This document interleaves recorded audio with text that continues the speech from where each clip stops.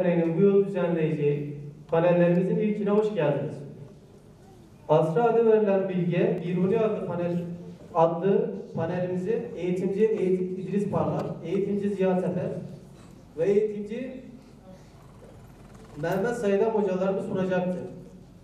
Şimdi Kur'an-ı Kerim tilaveti için Adem Ballı hocamıza mikrofonu takdim ediyoruz.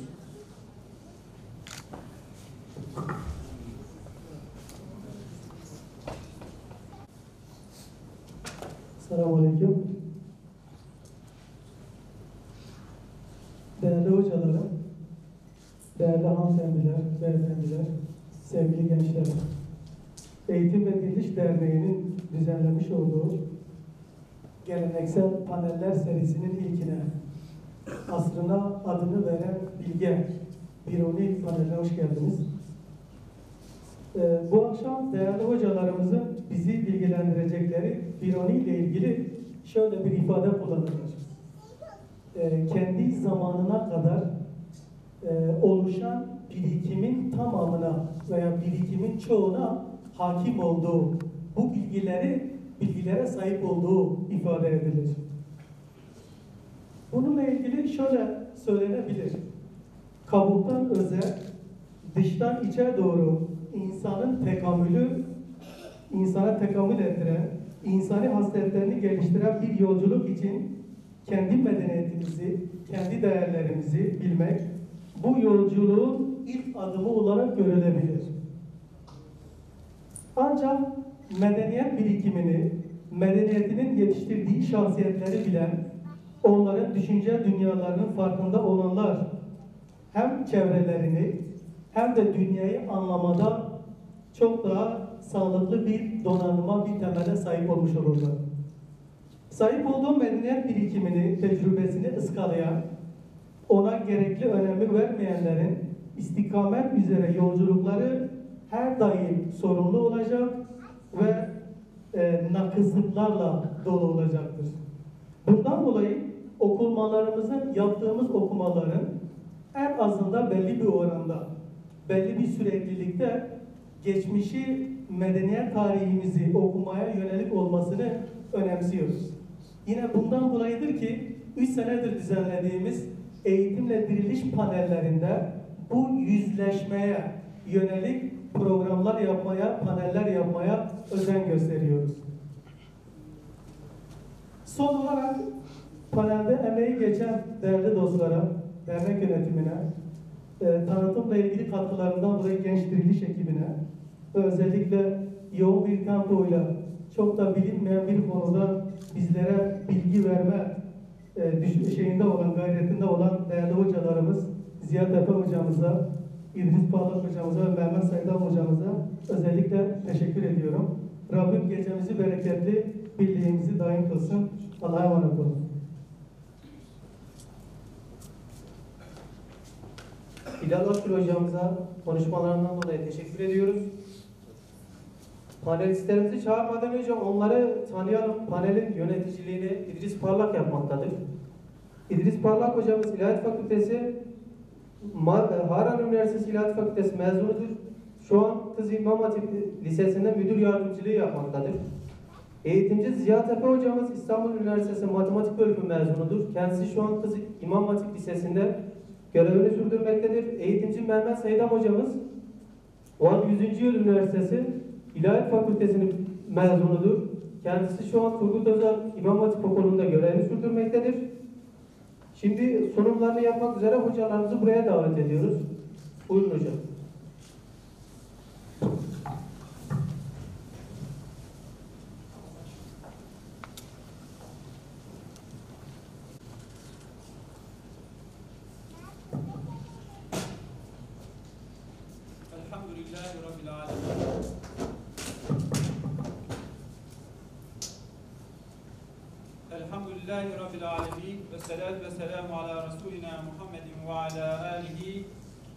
Ashabihi ecmain. Kıymetli misafirler, öncelikli olarak bu akşam değerli zamanınızı bizlere ayırıp buraya geldiğinizden dolayı hepinize teşekkür eder. Bu yıl ilkini gerçekleştirdiğimiz bu panelin bizlere ve sizlere hayırlar getirmesini Rabbimizden dileriz.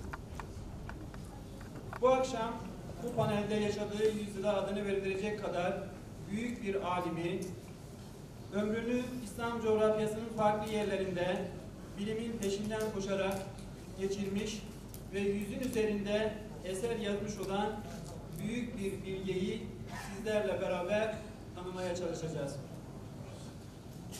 Bu bilge insan Ebu Reyhan Muhammed bin Ahmet el-Biruni'dir. Biruni miladi 973 yılında doğmuş ve 1051 yılında Hakk'ın rahmetine kavuşmuştur. Büyük alim Biruni daha 17 yaşındayken ilk eserini vermiş, 70'e yakın astroloji, 20'ye yakın matematik kitabı yazmıştır. Ayrıca tıp, biyoloji, bitkiler, madenler, hayvanlar ve yararlı otlar üzerine de eserler yazmıştır. Ancak maalesef bu eserlerden sadece 27 tanesi günümüze ulaşabilmiştir. Yaşadığı çağın en büyük astroloji ve matematikçisi olarak bilinen bir insandır. Belçikalı ünlü bilim tarihçisi Golge Sarton onun yaşadığı döneme Biruni asrını ve aynı zamanda ona bütün zamanların en büyük bilgini unvanını tereddütsüz olarak kullanmıştır. Değerli misafirler, çorak toprakta en iyi fide bile istenilen düzeyde ürün vermez. İdeal ürünü alabilmek için hem fidenin hem de toprağın en iyi özelliklere sahip olması gerekir. İşte Biruni, İslam medeniyetinin en verimli döneminde en iyi fidelerinden biri olarak bu unvanı hak eden değerlerimizden bir tanesidir. Biruni hayatı boyunca farklı altı hükümdarın ülkesinde yaşamak zorunda kalan bir kişiliktir. Tabi bu durum onun yaşamı noktasında birçok zorlukla karşılaşmış ve bu durumun getirdiği zorlukları yaşamış olmasına rağmen hiçbir zaman ilimden ve ilmi çalışmalarından kopmamıştır. Öyle ki yılda sadece iki gün Ramazan ve Kurban Bayramı'nın ilk günleri çalışmaya ara vermiştir. Bunun dışında geri kalan tüm zamanını ilmi faaliyetlere ve ilmi çalışmalara adamış. Biruni'nin hayatı boyunca sürekli yer değiştirmek zorunda kalmasından dolayı uzun süreli ve düzenli bir öğrenim hayatı olmamıştır. Buna karşın tüm zorluklara rağmen fırsatları iyi değerlendirmiş ve gittiği her yerin birikiminden azami düzeyde faydalanmıştır. Onu büyük kılan, tükenmek bilmeyen araştırma gayreti, taviz vermez objektiflik endişesi ve çok samimi dini duyguları şahsında birleştirmiş olmasıdır. Biruni'nin sahip olduğu araştırma ruhunun yanında dini inançlara samimi bağlılığı onun düşüncesinde ilim ve dinin dengeli bir uyumunu gerçekleştirmiştir. Çok çeşitli dinler ve felsefelerle mukayeseli olarak uğraşmış olmasına Grek, İran ve Hindistan kültürünün belli başlı klasiklerini derinden incelemiş olmasına ve çeşitli pozitif bilim dallarında çağının standartlarının çok üstünde bir bilgi seviyesine ulaşmış olmasına rağmen haktan ve hakikatten hiçbir zaman sapmamış, daima samimi bir Müslüman olarak kalmıştır. Biruni 30'a yakın bilim dalında çalışmalar yapmış ve buluşlar gerçekleştirmiştir. Bunun yanında dini hassasiyetini de hiçbir zaman kaybetmemiştir. Biruni, Arapça, Farsça, İbranice, Süryanice, Rumca, Yunanca, Çince ve Sanskritçe gibi dönemin en önemli dillerine hakimdi. Ve bu dillerin birçoğunda eser verecek kadar bu dilleri bilmekteydi. Biruni birçok alanda çalışmalar yapmıştır. Bunların en önemlileri matematik, astronomi, geometri, fizik, kimya, tıp, dinler tarihi ve coğrafyaydı. Biruni, pozitif bilimlerin yanı sıra metafizik ve psikoloji gibi sosyal bilimlerde de yetkin bir bilgindi. Bilimsel bilgiyi elde etmede ilmi kaynaklara dayanma, deney ve gözlemlerle ispat etme şartlarını ilk defa o ileri sürdü. Onun tabiat ilimleriyle yakından ilgilenmesi, Allah'ın ayetlerini anlamak, kainatın yapı ve düzeninden Allah'a ulaşmak, onu yüceltmek gayesine yönelikti. Eserlerinde çoğu kez Kur'an ayetlerine başvurur, onları çeşitli ilimler açısından yorumlamaya çalışırdı. Kur'an-ı Kerim'e olan hayranlığı her vesileyle dile getirirdi. İşte bu akşam bu büyük bilgin ve alimi daha yakından tanımak ve ondan faydalanmak için burada bulunmaktayız. Biruni'nin kişiliğini ve hayatını bizlere Turgut Özal İmam Hatip Ortaokulu Meslek Dersi Öğretmeni Mehmet Saydam hocamız anlatacaktır. İlmi hayatını ise Türkiye Petrolleri Kağıttakız İmam Hatip Lisesi öğretmeni ve yine aynı zamanda burada bulunan birçoğumuzun da hocası olan Ziya Tepe hocamız anlatacaktır. Hepinize buraya teşriflerinizden dolayı bir kez daha teşekkür ederek Biruni'nin kişiliğini ve hayatını bizlere anlatmak üzere sözü Mehmet Saydam hocama veriyorum. Buyurun hocam.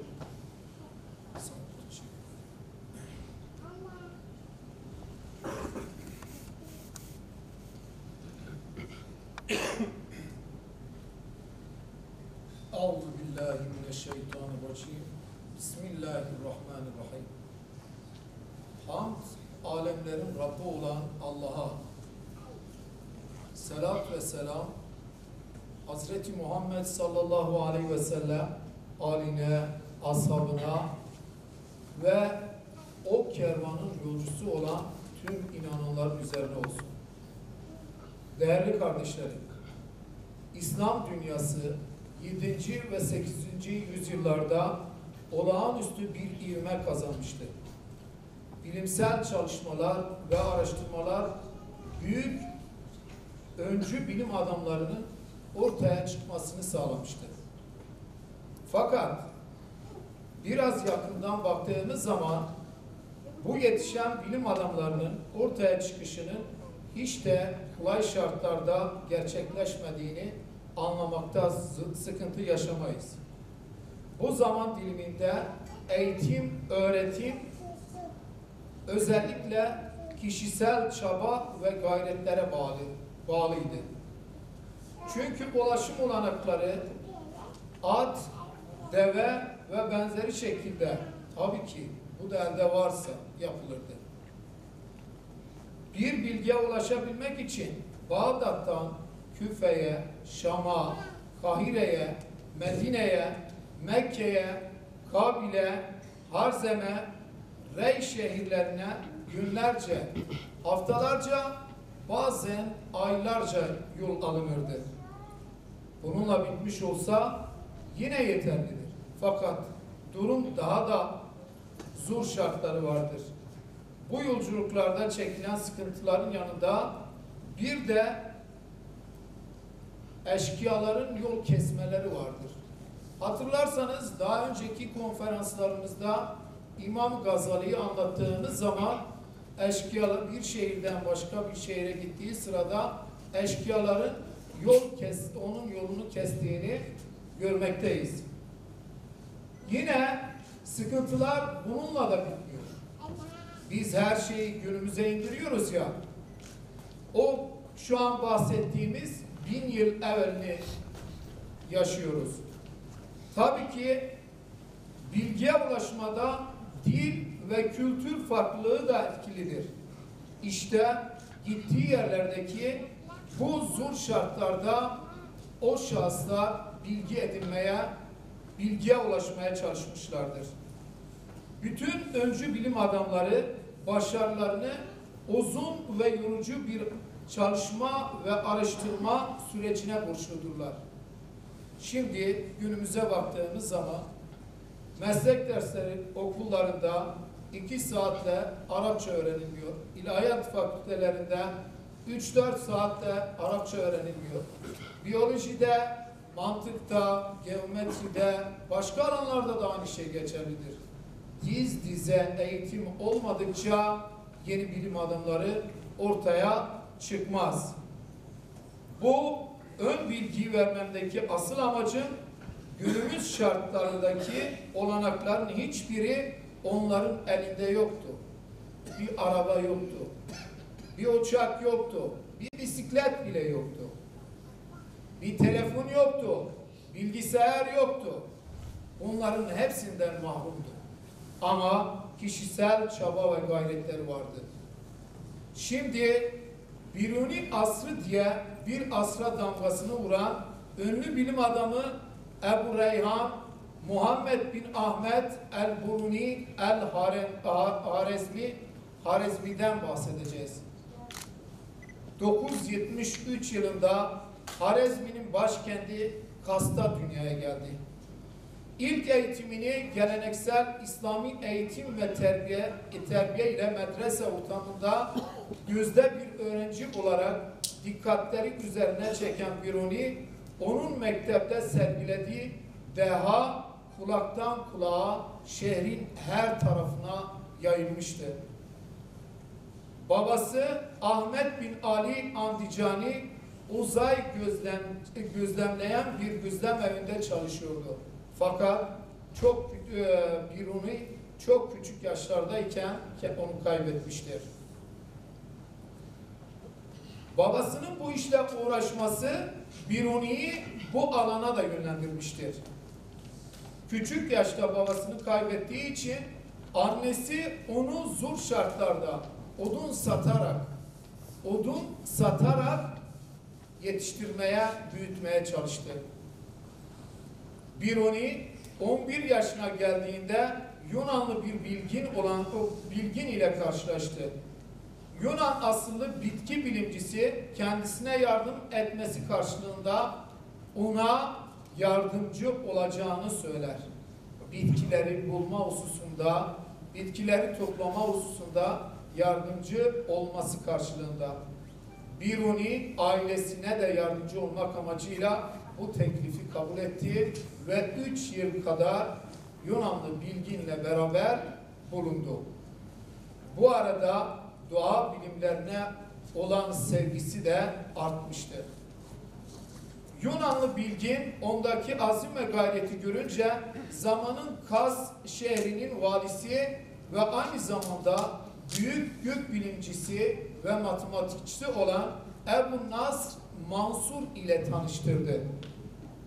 Mansur onun zekasını ve azmini görünce onu büyük zamanın şehrin en büyük gök bilimcisi ve matematikçisi olan Abdüsamet bin Samet el-Hekim ile tanıştırır. Onun öğrencisini yapar. O sıralarda Biruni 14 yaşında ve şu tarihi konuşmayı yapar. Bilim kıyısı olmayan bir deniz gibidir. Bütün aklım ve varlığımla benden önce hiç kimsenin öğrenmediklerini öğrenmek için bu denize dalmak istiyorum. 14 yaşında dikkatinizi çeker. Abdüsamet bin Hakim'den ders alan bilginimiz öğrenimini uzun öğrenimi uzun sürmedi. Daha çok özel çabalarıyla kendini yetiştirdi. Araştırmacı ruhu, öğrenme hırsı ve sönmeyen azmiyle birleşince bizim çocuk dediğimiz 17 yaşındayken ilk eseri olan Asarul Bakiye yazmış oldu. 17 yaşında tarihi eserini, ilk eserini verdi. Fakat Memnuniler kası alıp Harzem Şahları tarihten silmeleriyle Biruni'nin huzuru kaçtı. Sıkıntılar başladı ve kası terk etmek zorunda kaldı. Biruni İran'ın Rey şehrine giderek bir süre burada yaşadı. Birçok sıkıntılar çekti. Daha sonra Ziyariler tarafından kurulmaya başlandı. El Asurul Bakiye adlı kitabını Ziyarilerin sarayında yazmıştır. Biruni bu arada ünlü filozof İbn Miskevey ve İbn Sina ile tanışır. Bilginimiz bildiklerini birbiri bilginler bildiklerini birbirlerinden gizlemez. Aks, aksine her şeyi birbirlerine anlatırlardı. Kendisinden 7 yaş küçük olan İbn Sina ile Buhara ve Curcan sarayında ilmi çalışmalar yapmıştır. Şu an baktığımız zaman insanların çekememezliklerini görmekteyiz.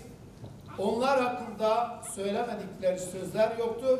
Ama bakıyorsun aynı dünyanın varoluş teorisinde aynı fikirde olmamalarına rağmen birbirlerinden uzaklaştığı zaman bile güzelce birbirleriyle mektuplaşmışlardır.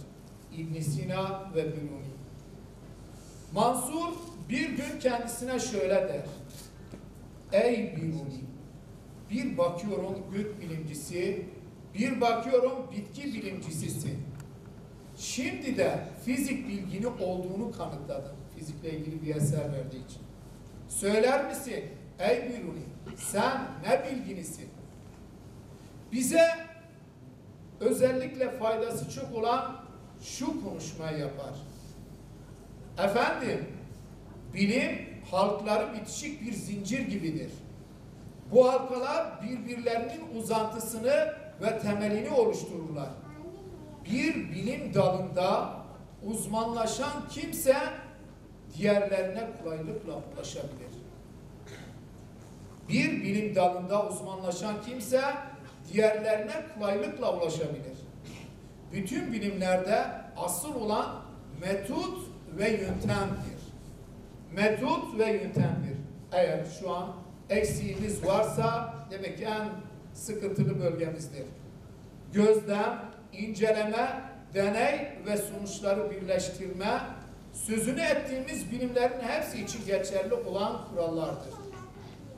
Biruni'nin eğitim anlayışında bir teoriyi ortaya atmadan önce her türlü araştırma ve gözlemi titiz bir şekilde yapması, sağlamasını yapılma, sağlaması yapılmamış sonuçlarla hiçbir zaman ortaya çıkmamıştır. Aynı şekilde Biruni güçlü bir imana sahipti. Hani çocuk çocuk yaştayken eğitimini, dini eğitimini en güzel şekilde almıştı. Güçlü bir imana sahipti. Bilginin insanlığın ortak malı olduğuna inanarak insanlar arasındaki karşılıklı anlayışın kuşkular üzerine değil, gerçekler ve mantık üzerine kurulması gerektiğini düşünmüştür. Biruni yaklaşık olarak 10 yıl gurbet hayatını yaşadıktan sonra Memuniler emiri Ebu Hasan Ali bin Memun'un daveti üzerine memleketine geri döndü. Memun döner dönmez onu siyasal baş danışmanı olarak atıyor. Biruni güçlü dili, sağlam mantığı, üstün düşünce gücü ve yeteneğiyle sarayın vazgeçilmez adamı haline gelmişti. Fakat kendisini davet eden Sultan Memun Harzem'e geldikten bir yıl sonra vefat etti. Biruni onun hakkında şöyle söyler. Memun ilerden bana hürmet gösteren ilk hükümdar. Memuni, Mem, Memun'un yerine kardeşi Ebu Abbas geçer. hükümdar Ebul Abbas sarayında Biruni'ye bir daire tahsis edip müşavir ve vezir olarak görevlendirir. Bu durum hükümdarların ilim duyduk, ilme duydukları derin saygının göstergesi, bilginlerimizin devlet başkanları yan- yanındaki yüksek itibarının bir belgesidir. Biruni Memnuniler Devleti'nde ilk bu iş olarak Ebu Vefa ile bir araya gelerek rasat çalışmalarını yaptı. Bu rasat çalışmalarında işte örnek verecek olursak günümüzde yedi kıta olarak bilinen kıtaları ilk kez yazıya döken Biruni'dir. Bugünkü Avrupa ve Afrika kıtasının karşısındaki Amerika kıtasını da aynı şekilde tespit etmiştir.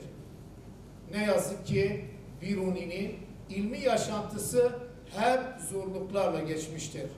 Sene 1014 yılını gösterdiği sırada Ebul Abbas ile Gazneli Mahmud arasında problemler ortaya çıkar.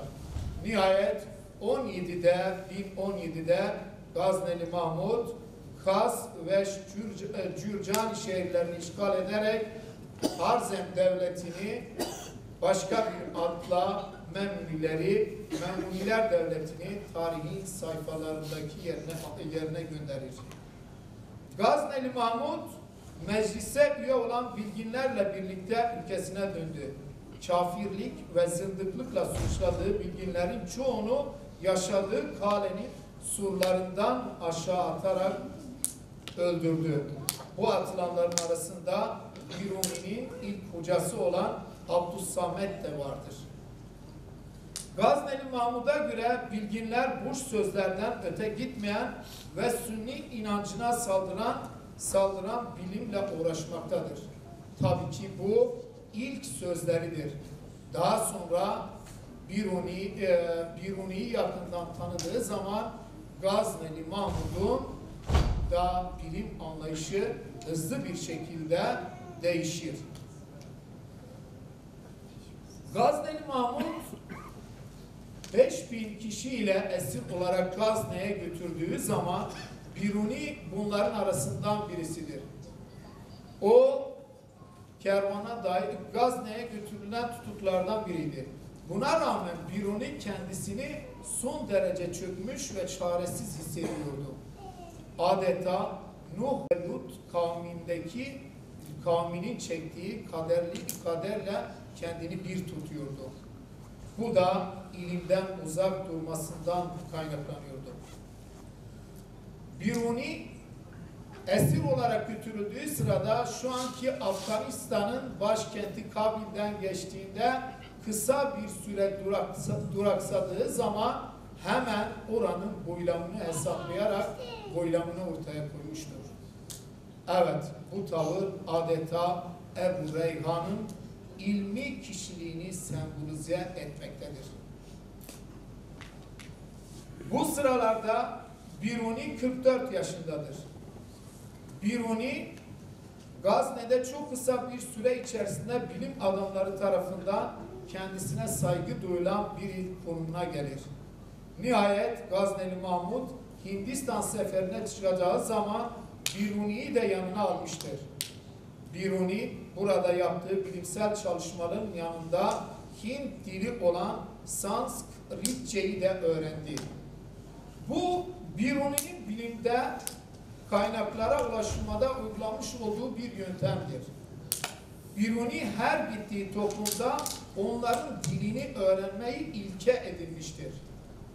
Savaşta da olsa, diğer şekillerde de olsa gittiği her bir yerde onların dilini, kültürünü daha yakından öğrenmek için bir ilke olarak edinmiştir. Nihayetinde Arapça, Farsça, Çince, Yunanca ve benzeri dilleri bilmesi bunun bir göstergesidir. Gazneli Mahmud zamanın diğer sultanları gibi tam bir ilim hayranlığı olan bir kişiye dönüştü. O bu orada yani eğitimde yılda 400 bin dinar bulunan bir harcamayı eğitime ayırmıştır. Biruni, Gazne'ye gelen elçilerden de geldikleri bölgelerin coğrafi konumlarını, bilgilerini ediniyordu. 1030 yılında Sultan Mahmud'un ölümü Biruni'yi bir, bir daha derin derinden etkilemiştir. Şu satırlar öğre- e, şu satırlarda bunu öğrenmekteyiz. Onlardan sonra dünyam alt üst oldu. Eyvah! Kendi yolculuğumdan önce onları göremeyeceğim. Gidenler bir parça et misali geride bırakıldı. İlim paspas üzerine kuşlar için bırakılan et, et parçası gibiyim. Gazneli devletin Gazne devletinde kısa bir taht kavgası olsa da Sultan Mesud tahtaya oturdu. Babasının yolunu takip ederek ilme büyük önem verdi. Ebu Reyhan el-Biruni Kanun-u Me- Mesudi'yi tamamlayıp Sultan Mesud'e sunduğu sırada bu şaheser, es- e, şaheser eseri Sultan bir fil yükü gümüş ile ödüllendirmek istedi. Fakat Biruni bunu uygun bir dille reddedip kendisini ilimden uzaklaştır, söyledi. Onun tek bir isteği vardı. O da sağlıklı ve uzun bir ömürdü. Büyük bilgin Biruni, tabiat ilimleriyle yakından ilgilenmesi, Allah'ın kevni ayetlerini anlamak, kainatın yapı ve düzeninden Allah'a ulaşmak, onu yüceltmek gayesine yönelikti. Eserlerinde çok defa Kur'an ayetlerine başvurur, onların çeşitli ilimler açısından yorumlamasını yapardı. Kur'an'ın belaat ve icazetine olan hayranlığını her vesile ile dile getirmiştir. İlmi kaynaklara dayanma, deney ve tecrübe ile ispat etme onun için e, bir şarttı. İlk defa Biruni bu ilkeyi ortaya sürmüştür. Bu konuyla ilgili olarak bilim adamına yakışan iki özelliği şöyledir. Bir, özgür ve yansız davranmak. İki, müsbet bilime ve akla uygun olmayan boş ve temelsiz görüşlere kapılmamak. Konuyu eleştirici bir zihniyetle incelemek. Yeterli kanıtlar bulduktan sonra gerçeği vurgulamak. Bilim tarihçisi Santun, onun özellikle Orta Çağ İslam dünyasının ve ayrıca bütün çağların en büyük bilim adamlarından birisi saymıştır. Hoşgörüsü, eleştirici zihniyeti, gerçeğe değer verişi, cesareti, özgür düşüncesi ve deneylerden sonuç çıkarmasıyla Biruni kendisini kabul ettirmiştir. Biruni'ye göre insanlar şu üç nedenden dolayı mutsuz olurlar. Günümüzün en büyük hastalığıdır aynı zamanda. Bir, insan yeryüzündeki yaratıkların en seçkinidir. Ancak insanlar kıskançlık nedeniyle birbirlerinin ellerinde olan nesnelere göz dikerler. Bu da toplumsal huzursuzluğun nedeni olur. Acaba Amerika, Rusya bizim bu bölgenin insanlarına hayran olduğu için mi gelmiştir? Bunu burada söyleyebiliriz. Kendi inancını, mezhebini iki, kendi inancını, mezhebini ve kabilesini, ırkını ötekilerden üstün görmek insanlar arasında sürtüşmelere yol açmaktadır. Evet, çağımızın ve her çağın en büyük hastalığı ırkçılık. Üç, hurefeler ve buş inançlar insanlığın gelişmesini önlemekte ve anlaşmazlıklar doğurmaktadır. Biruni'ye göre yaratılış itibariyle kötülüğe meyilli olan insan ancak dini ve ahlaki değerler vasıtasıyla kendisini terbiye edip mutluluğa erişebilir. Ebu Reyhan el-Buruni yaklaşık olarak 180 eser bırakmıştır. Batı dilinde Al-Beruni veya Ali Burun olarak geçen Biruni, UNESCO'nun 25. 25 dilde çıkardığı dergisinin 1974 Haziran sayısında, sayısını Biruni'ye ayırmış ve kapak fotoğrafının altına bin yıl önce Orta Asya'da yaşayan evrensel deha Biruni, astronom tarihçisi, botanikçi, eczacılık uzmanı, jeolog, şair, mütefekkir, matematikçi, coğrafyacı ve humanist diye yazar, yazılarak tanıtmıştır. Yeni Türk Tarihi Kurumu'nun 68. sayısında da Biruni'ye armağan etmiş, ona tahsis etmiştir. Şunu unutmayalım ki Avrupalılar Galila'nın dünyanın döndüğünü söylediği sırada yani 1550'lerden sonraki zamanda ona inanmayı bir tarafa bırakın, onu dinsizlikle nitelendirip cezalandırmışlardır. Halbuki kendisinden 550 yıl evvel yaşamış olan büyük alim, bilge insan Biruni bu sözü İslam coğrafyasında söylediği zaman kendisine hiç kimsenin tepkisi olmamıştır. Bu İslam dünyasının fikri bakımdan ve bilimsel açıdan halkın kültürel yapısının ne kadar illerde olduğunun en büyük göstergesidir. Gördüğünüz gibi bizler Ebu Reyhan, Muhammed bin Ahmet el-Buruni el-Harezmi'yi anlatmakla bitiremiyoruz. Sanki yıllarca bu büyük hazine bizden saklı tutulmuştur. Ebu Reyhan el-Buruni şu örneğiyle konumuzu sonlandırmak istiyorum. Ebu Reyhan el-Biruni ölümünden birkaç saat önce bile kendisini hasta yatağında ziyarete gelen arkadaşı fakih, bilgin Ebu Hasan'dan ilmi bir konuyu kendisine tekrarlamasını istedi. Arkadaşı anlattı, o doğru bir şekilde tekrar etti. Büyük bilgi son dakikalarını dahi bu şey, şeyler öğretme, bir şeyler öğrenmeden geçilmesine izin vermemişti. Ve bundan birkaç saat sonra 1051 yılında Hakk'ın rahmetine kavuşmuştu. Görüldüğü üzere Büyük Bilge Biruni'nin bu büyük ilim aşkı ve bağlılığından dolayı ünlü Gazneli Devleti Sultanı Sultan Mahmud onun hakkında şu sözü söyler. Biruni sarayının en kıymetli hazinesidir. Rabbim bu bilginlerden gerektiği şekilde istifade etmeyi bizlere nasip etsin. Teşekkür ederim. Güzel sunumundan dolayı teşekkür ediyoruz. Şimdi de ilmi hayatını size anlatmak üzere sözü Ziya Tepe hocamıza veriyoruz. Buyurun.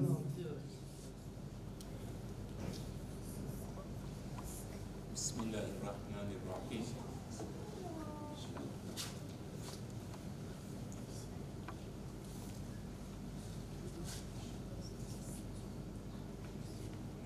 Ee, İslam bilim tarihimizin önde gelen bilgini, Biruni'nin buluşlarını ve yazdığı eserleri sizlerle paylaşmak istiyorum.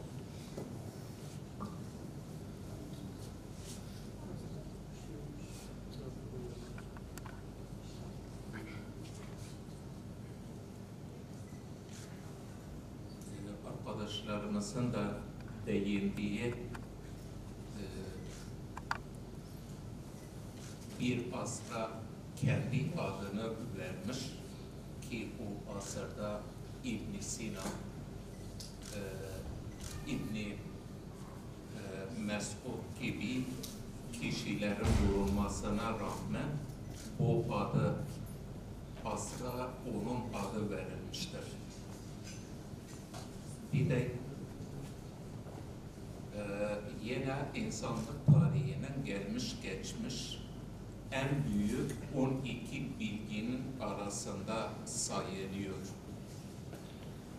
Buna rağmen acaba niye ülkemizde ve dünyada ibn Sina gibi bir filozof çok tanınıyor da Biruni gibi bir şahsiyet az tanınıyor. Benim bu konudaki kanaatim şudur. Batı dünyası kendisine mal ettiği birçok buluşu asırlar önce Biruni tarafından bulunmuştu. Biruni'nin tanınması Batılıların uydurduğu ve üzerine kapattığı birçok hakikatin ortaya çıkmasına vesile olur. Herhalde bunu da Batı dünyasının egemen güçleri istemez. Biruni 973 ile 1051 tarihleri arasında yaşamıştır. Bu tarih anlatacağım Doğu Batı arasındaki bir kısım karşılaştırmalarda önem arz eder. Biruni İtalyan bilgininden 600 yıl önce dünyanın kendi etrafında döndüğünü bulmuştur.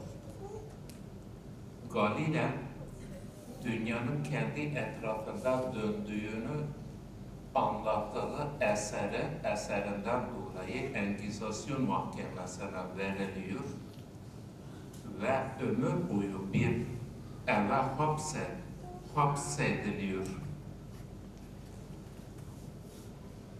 Kendisi öldükten sonra da Hristiyan mezarlığa gömülmüyor.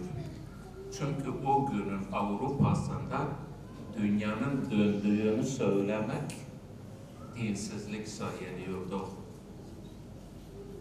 Avrupalı Polonyalı astronom Kopernik'ten 500 yıl önce Biruni dünyanın yuvarlak olduğunu ve güneş etrafında döndüğünü bulan kişidir. İslam alimleri Kopernik'ten asırlarca önce dünyanın kainatın merkezi olmadığını, öbür gezegenlerle birlikte güneş etrafında döndüğü fikrini ispatlamışlar. Biruni Newton'dan 700 yıl önce yer çekimi kuvvetini bulan bilgindir. Biruni yer çekimi ile ilgili şunları söylüyor.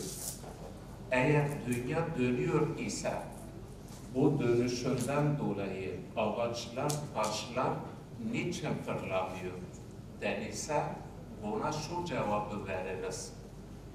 Bu durumda dünyanın dönmesi hakkındaki hakkında ortaya attığımız teoriyi çürütmez. Çünkü her şey dünyanın merkezine düşüyor. Demek ki o merkezde çekicilik var. İşte bu yer çekimi yeryüzünde ki dışarı dışarı dışarı yeryüzündeki dışarı dışarıya çıkmasına engel olmaktadır. Biruni özgür ağırlık konusunda 11. asırda düşünebilen bir bilgidir.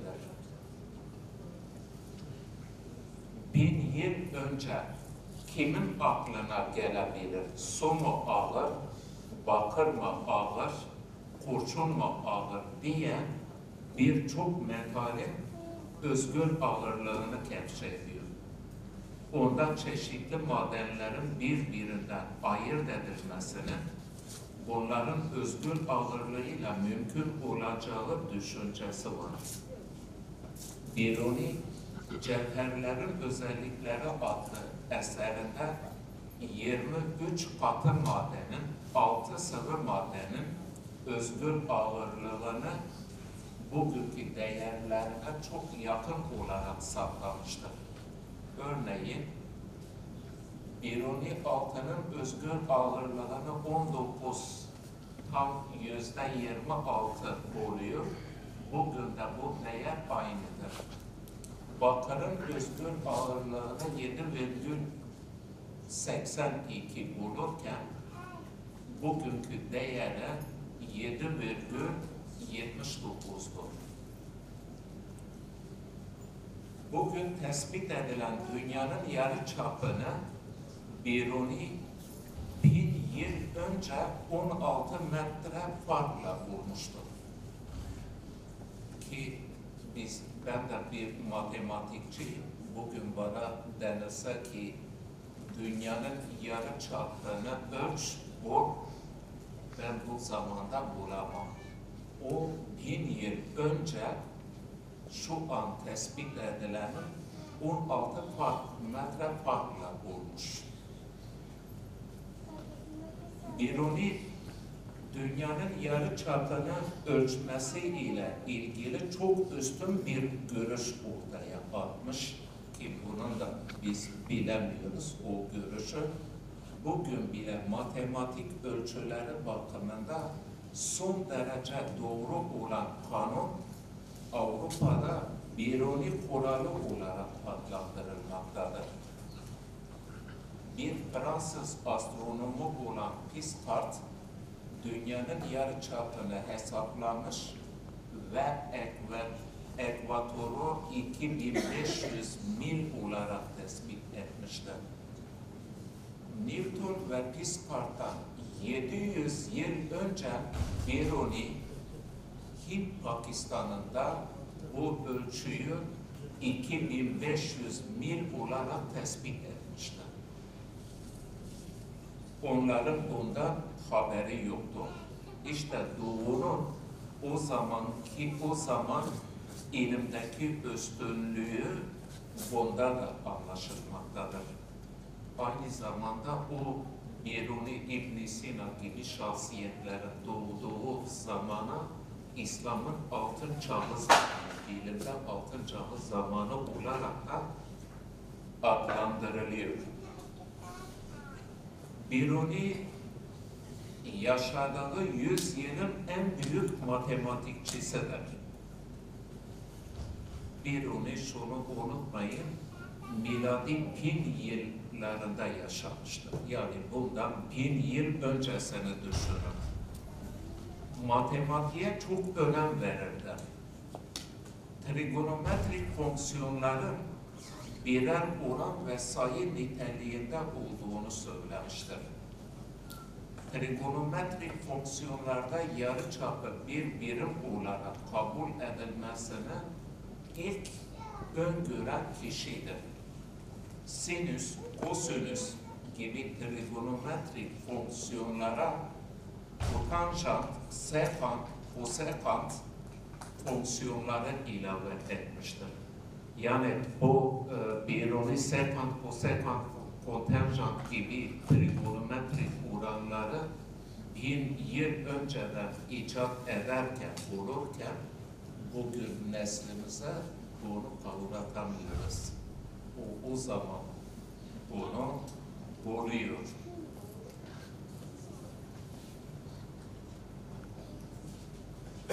Nandana'da, Nandana bir şehir Keş, yanılmıyorsam Keşmir'de olması gerekiyor.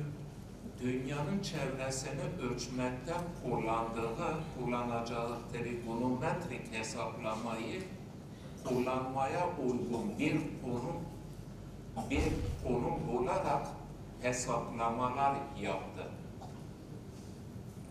İtalya, İtalyanlı ressam heykeltıraş, mimar ve bilgin olan Leonardo da Vinci ikinci ve üçüncü dereceden denklemlerin bilgilerini Biruni ve ibn Sina gibi Müslüman bilginlerden öğrenmiştir.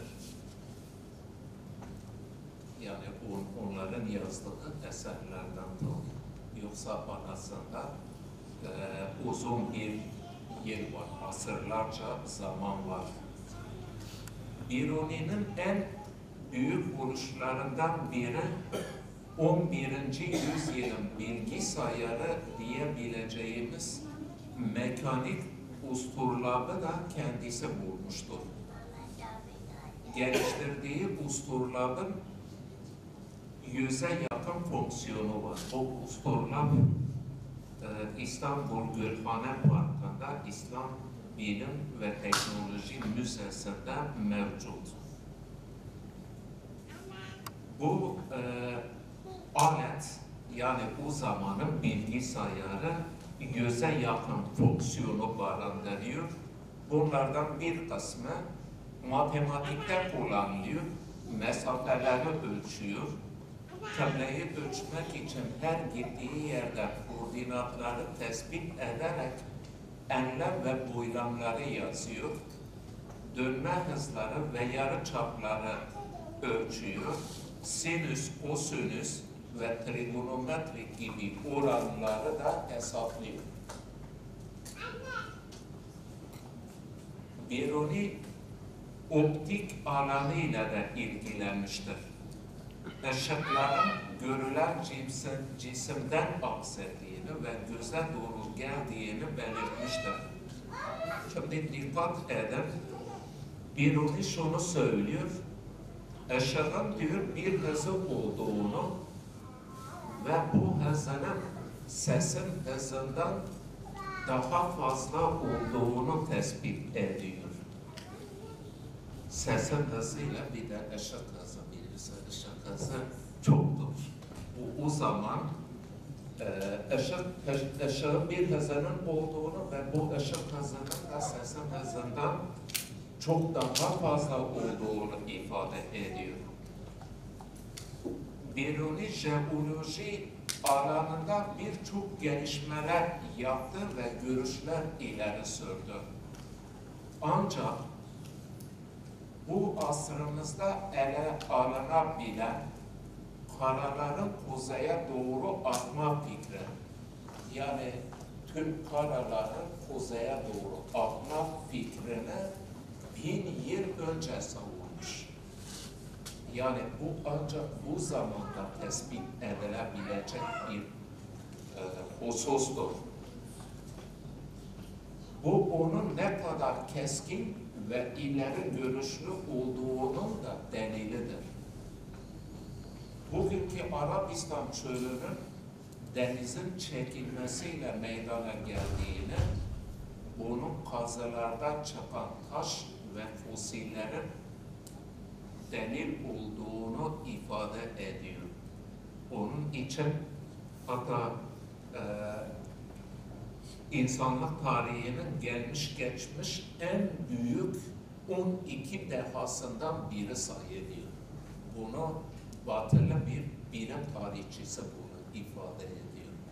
Yani bunda bu anlat, anlattıklarında anlaşılır ki bu bizim bildiğimiz şekilde sıradan öyle büyük bir bilgi de değildir. İnsanlık tarihinin en büyük bilgilerinden biridir.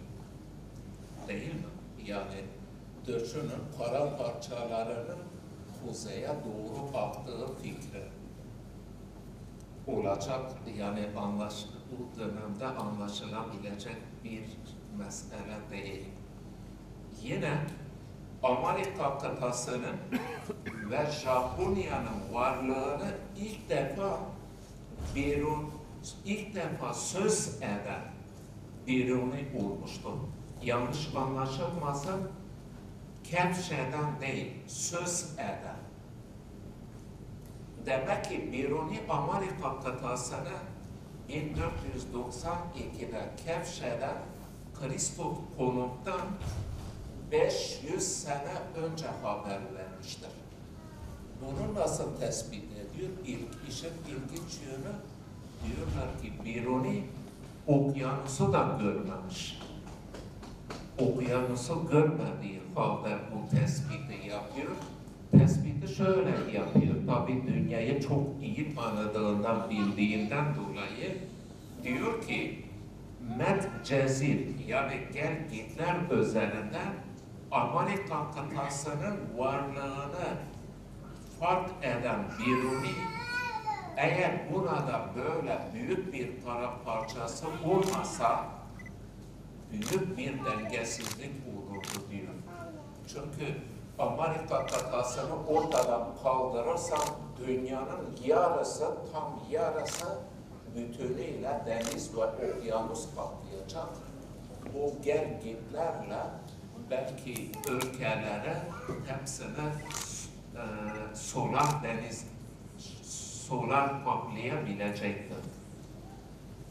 Çok ince bir düşünce ve teşhistir fevkalade. Jeodenzi diye bir ilim var. Bu jeodenzi yer ölçme ilmidir. Bu jeodenzi yer ölçme iliminin ilk temellerini atan da Biruni'dir. Bunu teknik nihay, nihayetin emakin yani şehirlerin koordinatlarının belirlenmesi Ö isimli önlü kitabında yeni bir bilim dalı olan jeodeziye ilk harcı o koymuştur. Bu kitabında şehirler arası enlem ve boylamları bulmak, kıbleyi tespit etmek için metotlara ve tarihi, coğrafi, astronomik ve jeolojik bilgilere de yer vermiştir. Biruni su kaynaklarının yararlı biçimde kullanılması, koyulardan yükseklere su çıkarılması, kanalların yararlı hale getirilmesi konularında da önemli çalışmalar yapmıştır. Biruni ilk defa kimya ile eczacılığın temellerini birbirinden ayırıyor. O zaman bu iki ilim, bilim bitişiktir, iç içe iyidir. Üç bir bitkinin hangi hastalığa iyi geldiğini ve hangisine ters etki yaptığını üzerinde bir sözlük hazırlıyor. Bu sözlükte o bitkinin, o dönemde o bitkinin Arapça, Farsça, Yunanca, Sanskritçe, Türkçe gibi başka dillerinde adının da yer alması etimoloj, etimolojik açıdan çok önemli bir gelişmedir. O dönemde bunu fark ediyor. Yani farklı dillerde o bitkilere, o ilaçlara isimlerinin kaydedilmesi. Biruni eczacılıkta uygulama, uygulamalı eğitime kitaplardan çok daha önem vermiştir. Es Saydala ilaçlar hakkında hakkındadır kitabında eczacılık ile doktorluğun da temellerini, sınırlarını çizmiştir. Bu kitapta ilaçların yan etkilerine dikkat çekmesi hususunda şunları söylüyor ki bu da biliyorsunuz çok önemli doktorların e, e, mutlaka göz önünde bulundurduğu bir husustur. İlaç her diyor ki her ilacın kendine ha, hais olduğu özellikleri ve tesirleri onların faydaları ve zararlarını bilmeli, ona göre hareket etmelidir. Sadece faydasına bakılmayacak, zararlarına da bakılması gerekiyor. O dönemde toz ve maden e, işletmelerine de emek harcamış biridir. Biruni coğrafya alanında bir otoritedir. Coğrafyanın enlem ve boylamlarını bugünkü değerlerine yakın bir şekilde hesaplamıştır. Biruni tutuklular kervanında olduğu halde Kabil'den geçerken kısa bir mola veriliyor o Muğla'da hemen elimdeki araçları indirerek Kabil şehrinin enlemine tespit etmeye buyuruyor. Halbuki tutukludur, tutukludur. Kendisini götürürler. Yine Kabil'de biliyorsunuz Afganistan'ın başkentidir. Orada hemen ilk fırsatta o aletleriyle Kabil'in enlemine şey yapıyor, hesaplıyor.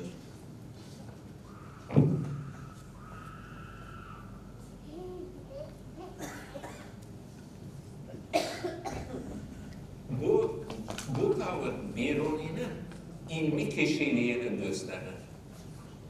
Burga Türklerinin lideri Gazne'ye bir elçilik heyeti gönderdi. Biruni bu heyet, heyetten görevlilere ti- ticari ilişkilerinin içinde olduğu kuzey bölgesine ilişkin bilgiler istedi. Elçilerden biri Mahmud Sultan Mahmud'un huzurunda iken kuzeyin ileri uçlarında güneşin bazen günlerce batmadığını söyleyince kendisiyle dalga geçtiğini sanan Sultan Mahmud öfkelendi ve elçinin hapsedilmesini istedi. Biruni Sultan'a bunun imkan dahilinde ve makul bir olay olduğunu söyleyip sultanı yatıştırdı ve ikna etti. Biliyorsunuz Kuzey Kutbu'nda bazen aylarca hatta güneş batmıyor. Bunu söylediği zaman Biruni, Biruni evet bu olabilir diyor. Bu makul bir olaydır diyor. Zaman Sultan Mahmud tabi kendisiyle dalga geçtiğini sanıyor. Yani günlerce güneş batmayabilir mi? Böyle bir şey mi olur diyor. Kron- Kronoloji, kronoloji zaman bilimidir. Açısında da, zaman bilimi açısında da çok kapsamlı çalışmalar yapmıştır. Bu çalışmaların kanatı, olarak öz, öz, e, üstün bir kaynak niteliğinde olan Asarul Bakiye adlı eserini gösterebiliriz. Biruni'nin hocası, arkadaşı ve hamisi yani koruyucusu olan Ebu Nas Mansur ile bölgenin yerel bir bölge takvimini hazırlamıştır. Biruni daha çok astronominin babası olarak ifade edilir.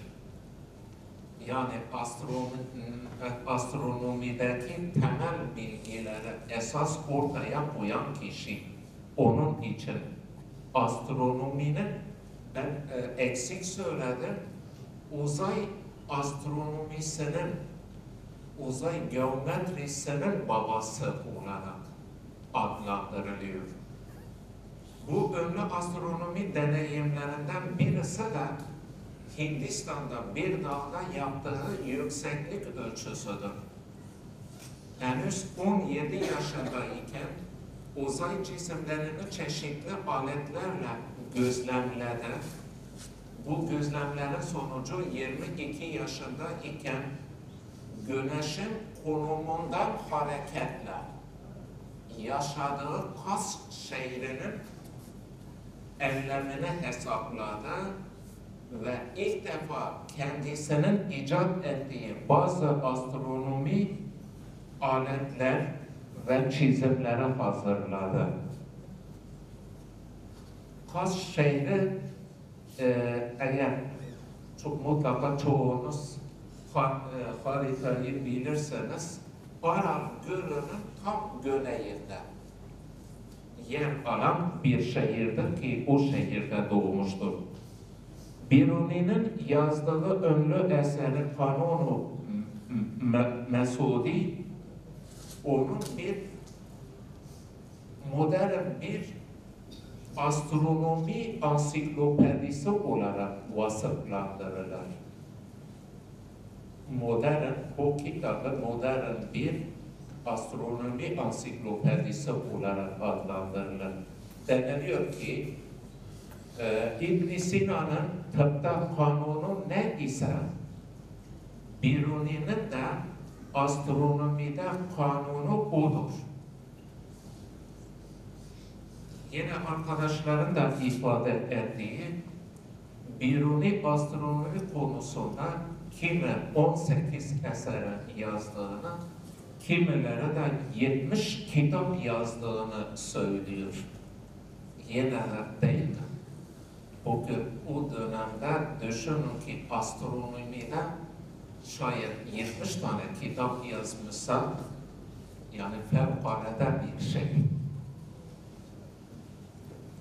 Biruni aynı zamanda iyi bir doktordur. İlk defa se e, canlı sezeryan ameliyatını yapmıştır. Bunun e,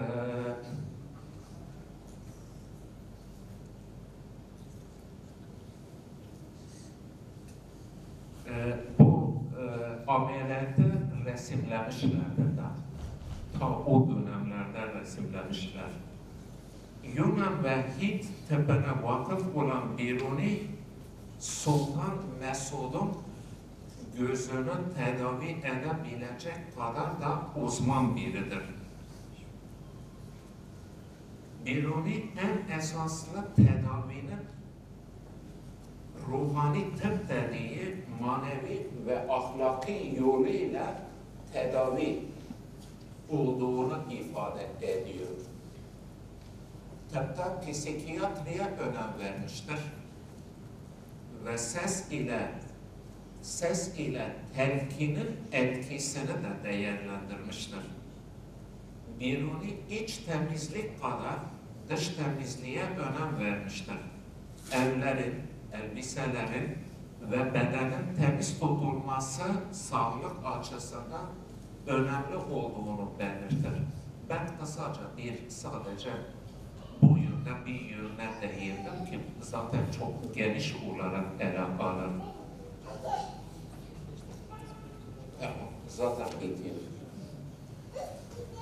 Tabi birikimine hayran olduğu Ebu Bekir el-Razi ki tıp sahasında, İslam dünyasının tıp sahasında buna da, buna, onu da bir otorite olarak kabul edebiliriz. Düşünceleri biraz farklı olduğu için İslam dünyasında fazla tanınmıyor. Fakat bunun İran tarafından çekilmiş bir filmi vardı. Fevkalade bir filmdi. Ee, sonra uzun bir zaman bu filmin ardına düştüm elde etmek için. Yani e, düşmemin sebebi öğrenciler eğer böyle bir filmi seyrettiği zaman adeta onların içten bir devrim yapabilecek kadar güzel, fevkalade bir filmdi. Ee, tabi birikimine hayran olduğu ünlü tabi Ebu Bekir Emrazi'nin klinik gözlem ve deneye dayalı deneyler yaklaşımını kendisine daha yakın buluyor. Bir de dikkat edin şu cümleye. Ebu Bekir Razi'nin eserlerine ait geniş bir katalog da hazırlamış. Gerçekten de takdire şayandır. Dikkat tabi bu eserlerin sonraki zamanlarda çoğu kaybolmuştur ama e, Biruni'nin e, o kitapların hepsini kaydetmiş. Biruni'nin Biruni geometriyi botaniğe uyar, uygulamıştır. Ben yine mesela bu cümleyi okuduğum zaman bir matematikçi olmama rağmen tasavvur edemedim. Yani geometriyi botaniğe yani bitki bilimine nasıl uygulamış? bitki ve hayvanlarda öğrenme konularına temas etmiş. Çiçeklerin yapraklarının 3, 4, 5, 6 yahut 18 olabileceğini fakat 7 ve 9 olamayacağını belirtmiştir. Biruni felsefe alanında da derin bilgi sahibidir. Felsefi eserlerin birçoğu kaybolmuştur. Çağındaki okulların çoğunda etkisi bulunan Aristocu felsefeye göre önemli farklılıklar gösterir. Hareket ve yer sorununda olduğu gibi Aristocu fiziği birçok noktada şiddetle eleştirmiştir. Hatta e, Biruni ile ibn Sina arasındaki e, o mektuplaşmaları, mektuplarda konu edinen soru cevap olarak konu edinenleri de okudum. E, doğrusu anlamakta çok zorlandım. Yani bin yıl önce ele aldığı konuları bugün bizim anlamakta bile bu konuda çok zorlanıyoruz. Bu eleştirileri eleştirilerde yalnızca mantığa başvurmamış, aynı zamanda gözlem sonuçlarını da kullanmıştır.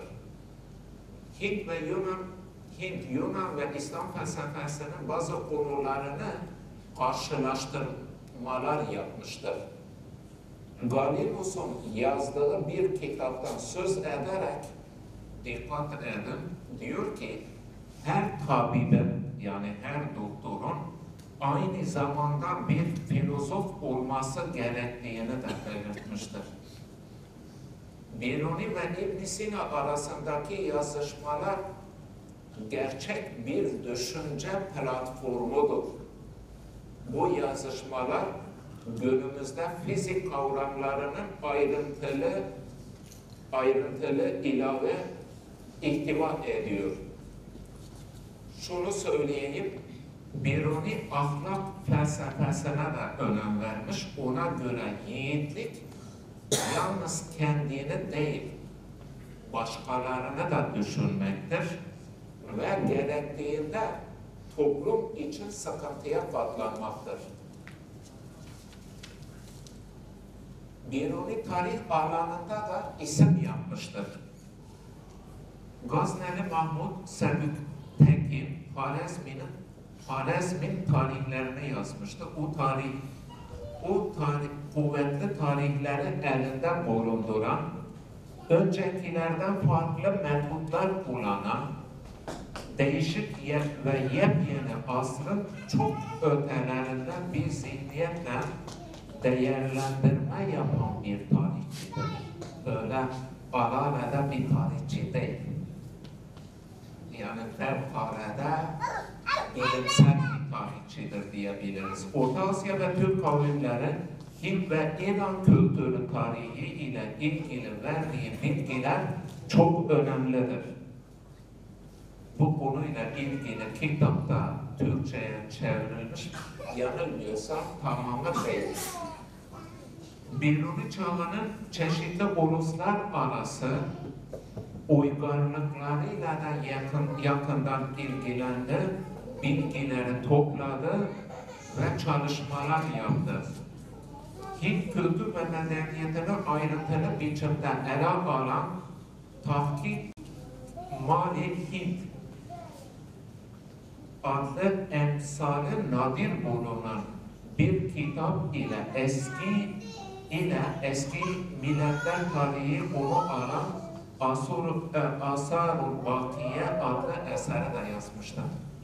E, Hindistan'ın tarihiyle ilgili en değerli kaynak e, Biruni'nin yazmış olduğu bu kitaptır. Onun için Hintliler buna çok değer verir ve o zamanki Hintli bilgiler öyle bir kişiyle karşılaşıyorlar ki hem onları şaşkına uğratıyor hem de hayran bıraktırıyor. Bundan dolayı Batı'nın bundan dolayı Hintli bilginler buna Biruniye Sagar yani okyanus ya da bilgi büyücüsü adını vermişler. Batılılar da diyor ki Hindistan kapılarındaki Eflatun, Eflatun biliyorsunuz tarihten ünlü bir Yunan filozofudur, bilginidir. Bu şekilde adlandırmıştır. Yani şu anda Hindistan'ın en önemli tarihi kaynağı Biruni'nin yazmış olduğu bu kaynaktır. Ebu Reyhan er Biruni altın ve gümüş dininin ki bu yine öyle ifade ediyor tabi muazzam bir birikime sahiptir. Yani hikmetli bir hikmete sahip ve ona tabi ona uygun da bir dili var.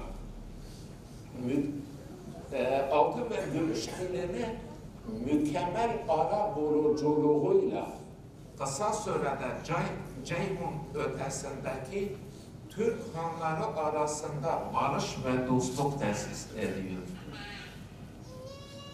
Biruni'nin Biruni iyi bir dinler tarihçisidir.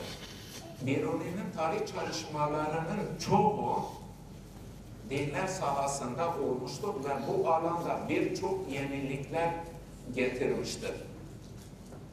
Biruni söyleme şeye e, su kadar varmış. E,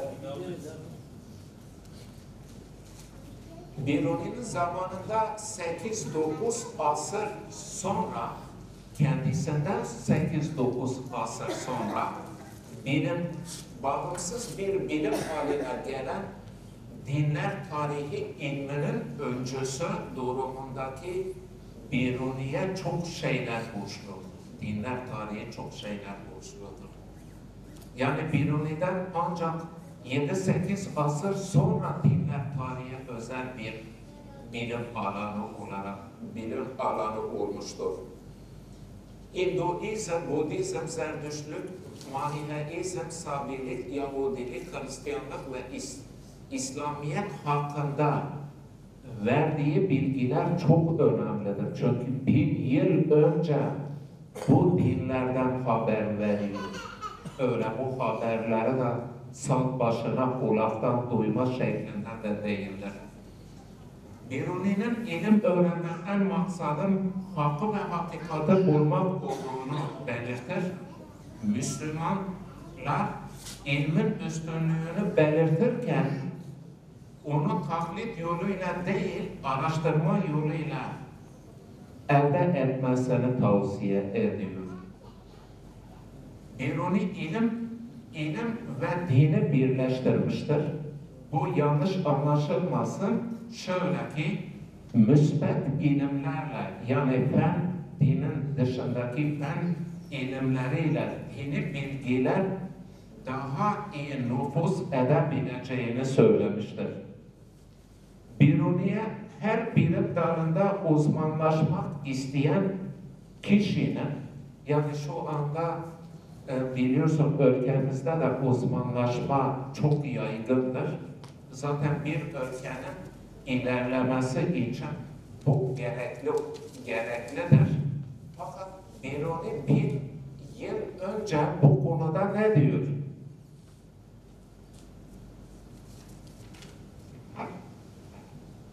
Biruniye, Biruniye her bilim dalında uzmanlaşmak isteyen kişinin bütün bilimlerin en azında genel ilkele, ilkelerini öğrenen bir filozof olması gerekiyor diyor. Tabii biz bundan çok uzağız. Bunlar o zaman söylediklerinden. Ed- Edebiyatla da ilgilenen Biruni Arapça şiir yazmış. Arapçaya giren sözcükler üzerinde durmuş. Bir tane de roman yazmış. Doğrusu bu romanı da merak ediyoruz ama büyük ihtimalle o da bu kaybolanların arasındadır. Burada kısaca kısaca anlattıklarım gerçekten bu söyledikleri onun çalışmaları ve buluşlarının çok az bir kısmıdır. Hatta şunu söyleyebilirim. Mesela belki 30-40 dakikanızı aldım. Bu 30-40 dakika saf başına Biruni'nin yazdığı 180 kitabının tam ismini teker teker söylemekle belki dolardı. Daha diğer kısmını bırakın sadece ismini söylemekle, tam ismini söylemekle geçerdi. Çünkü biz kitabın kısaca ismini söyledik. Yani o ismi mesela Asarul Bakiye sadece kitabın tam ismi bu değildir.